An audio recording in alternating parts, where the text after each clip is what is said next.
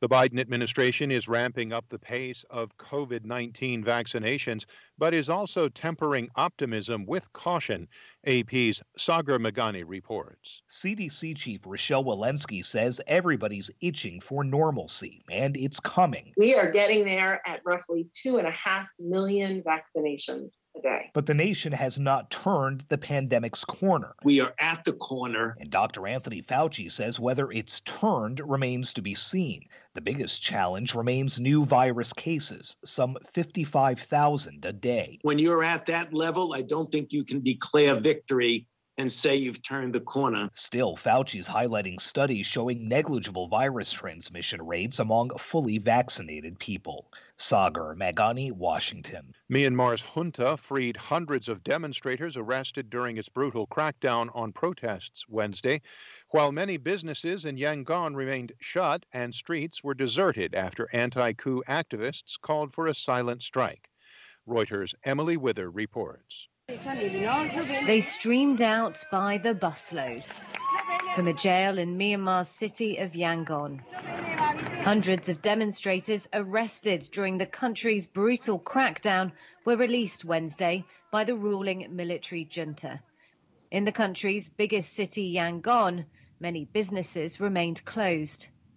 The strike comes a day after the bloody crackdown saw its youngest victim laid to rest a seven year old girl. About 275 people have been killed in the bloody protests. The Myanmar office of the UN's Children Agency says at least 23 of the dead are children. That's Reuters' Emily Wither. With most of the votes counted, Israelis still do not know who won Tuesday's election. Neither Prime Minister Benjamin Netanyahu nor the main challenger have any way to put together a majority coalition. Linda Gradstein reports from Jerusalem. It's going to take a while until Israelis know the final results of Tuesday's election, the fourth in two years. That's because there are more than 450,000 special ballots from Israeli soldiers, hospital patients, and diplomats overseas that have yet to be counted. And since Israel is such a small country, even a few thousand votes can swing a parliamentary seat. Israeli analysts said Israel's fast COVID 19 vaccine program, which has already reached 80% of Israel's adults, worked in Netanyahu's favor. The fact that he is currently on trial for corruption has not affected his support, which remains similar to the past three elections. Linda Gradstein for VOA News, Jerusalem. Kenya on Wednesday ordered the closure of two sprawling camps that host hundreds of thousands of refugees from neighboring Somalia and gave the UN Refugee Agency just two weeks to present a plan to do so. The Dadaab and Kakuma refugee camps in northern Kenya together host more than 410,000 people. Authorities in Nairobi first announced their intention to shut the Dadaab camp, which is closer to the border with Somalia, back in 2016, citing national security concerns. The UNHCR urged Kenya to ensure that those who need protection continue to get it and pledged to keep engaging in a dialogue Kenya's move comes as relations with Somalia worsen after Mogadishu cut diplomatic ties with Nairobi last December, accusing it of interfering in its internal affairs. Eight tugboats are attempting to free one of the world's largest container ships, a 400 meter long behemoth that ran aground in the Suez Canal, blocking one of the world's most important waterways.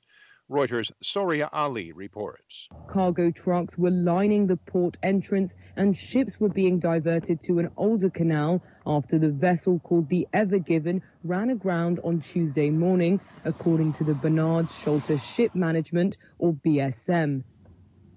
The Canal Authority says the mishap occurred because of bad weather. Eight tugboats were attempting to free the canal on Wednesday morning, but some delays to shipping are expected. BSM said all the crew are safe and accounted for and that there have been no reports of injuries or pollution. That's Reuters' Soraya Ali.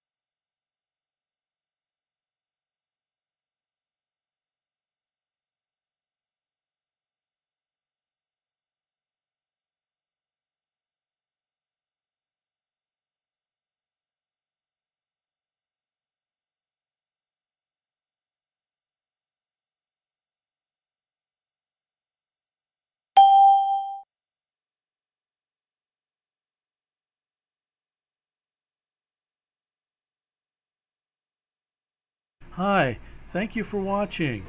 I hope the videos are useful for you. Please subscribe to my channel using the button below.